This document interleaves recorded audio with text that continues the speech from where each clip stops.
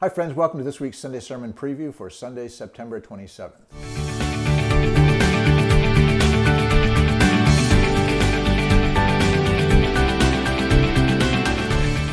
Booker T. Washington was an American hero.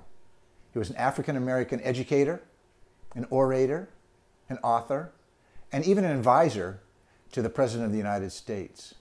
His generation was the last generation born into slavery. And one of the books he wrote was called Up from Slavery. And it talked about himself growing up in that culture of slavery. And one of the things that he mentioned, and he took some time to talk about in there, was a shirt that was given to slaves, and it was made out of flax. Now, flax was a very rough material, these shirts, and it often, when it was being worn, it would, it would cause sores because it was so rough, and you'd often bleed wearing these. But after a while, wearing these shirts, the roughness became soft and it became a very comfortable shirt.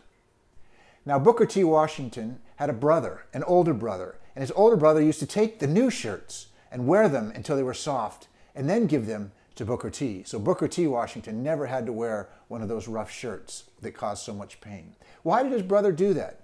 We don't know much about his brother, but we know that he loved his younger brother, Booker T. Washington.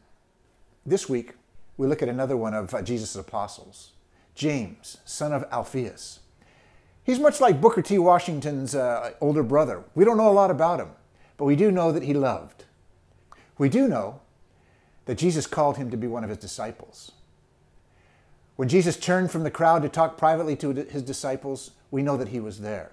We know that he was uh, amongst the 12 that Jesus sent out into the world. We do know somewhat of James just because of the position he had. But there was never anything written about James, which means he probably never did anything wrong, because that's usually when you got written up. Come this week, 1045, uh, we're going to look at James and how God used an ordinary guy to do extraordinary events. God bless you. Again, we look forward to seeing you at 1045.